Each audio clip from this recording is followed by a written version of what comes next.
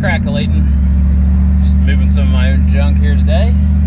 Hauling the uh, left of the 05 Avalanche down to the uh, lower yard downtown where we keep stuff when we run out of room up uh, up this way. So we are really trying to get through some of these parts cars and get the parts on eBay and get them listed so people know what all we have and also trying to get through the tire inventory and wheel inventory and lug nuts. Believe it or not, I have lug nuts inventoried into sizes and uh, you know OEMs and aftermarkets and all that kind of stuff. So uh, we can sell those to people too that are in need. So anyway, just checking in, just checking in. Say hello. Just